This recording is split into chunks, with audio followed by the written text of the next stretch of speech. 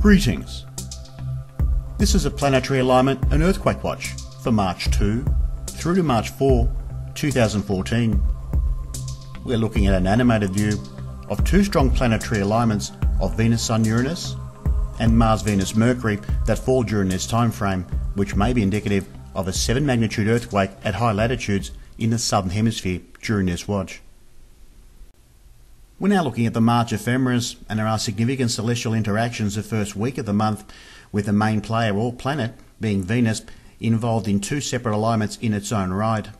Venus opposes Uranus heliocentrically on March 2nd, and we have the inner solar system of Mercury, Venus, and Mars involved in a significant alignment and a long duration alignment, which will take the first week of the month to complete.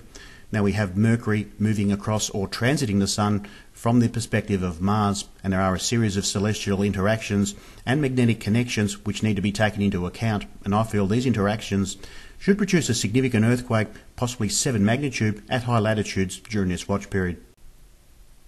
Not only do we have a significant array of planetary alignments and celestial interactions, but we also have three planetary retrogrades of significance the first week of the month of March we have Mars turning retrograde March 1st, the following day. We have Saturn going in retrograde, and Jupiter comes out of its retrograde and going direct on March 6. It is worth noting that February 6, 2013, a magnitude 8 earthquake struck the Santa Cruz Islands region and a significant earthquake swarm followed. Now, all this activity began on January 30th, just as Jupiter went direct. We had a series of 6 magnitude earthquakes occurring from January 30 to February 2nd, and this escalated to a magnitude 8.0 four days later on February 6, which is a very powerful and widely felt earthquake for the region. Now, the important aspect is this time round, things are opposite. We actually have Jupiter going direct after the retrograde of Saturn. Now, we have a shorter time span this time round in 2014 with only four days of separation, but we also have an extra retrograde cycle to consider, and that is Mars. So I feel that there is a very strong potential of a very large earthquake during this time frame or the first week of March. We're now going to look at this a little bit more closely and look at the past. Not only do we have a magnitude 8.0 occurring in between both of these retrograde cycles of Jupiter and Saturn, but we have a look. This occurs roughly every 20 years due to the orbits of both planets.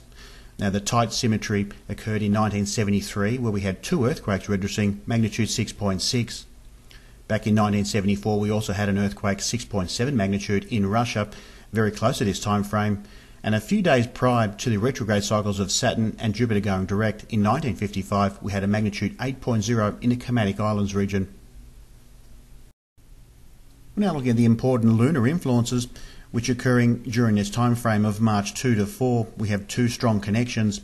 We have the Moon conjoining Uranus at 9.50 on March 3rd, and a day later we have the Moon opposing Mars at 14.43 UTC. Now this is important as Mars, Venus, and Mercury are involved in an alignment. We also have the Moon being involved as well. There is important symmetry regarding the Mars and Saturn retrogrades, with the Moon's overhead or longitudinal position covering the same region on the Earth, and that's the Atlantic Ocean and also the South American regions, and these will be the main areas for concern during this watch. Now, the orbital extreme points are an important feature in this work and analysis. More information can be found at solarwatcher.net. And finally, taking this one step further and looking more closely into the Mars retrograde cycle with respect to Jupiter's and Saturn's. And we do see that when the Mars retrograde cycles begins, there is an uptick in volcanic activations, and that is the important aspect of this watch. There may be strong volcanic activity or a significant rise in volcanic unrest during the first week of the month of March. And now for the forecast for this period, I do feel there's a potential and a very high possibility of a 7.2 to 7.5 magnitude earthquake to occur at high latitudes in the southern hemisphere, and that's the assessment for this watch period. Now, with the main areas for concern being the Macquarie Islands region, just south of New Zealand and south of Australia, being the number one area for concern. And the second area for concern will be the South Atlantic Ocean, specifically the South Sandwich Islands region, Scotia Sea, South Georgia Islands, or the Drake Passage. These will be the main areas for concern. And stretching east of this region, we can even consider south of Africa and also the Bouvet Islands region.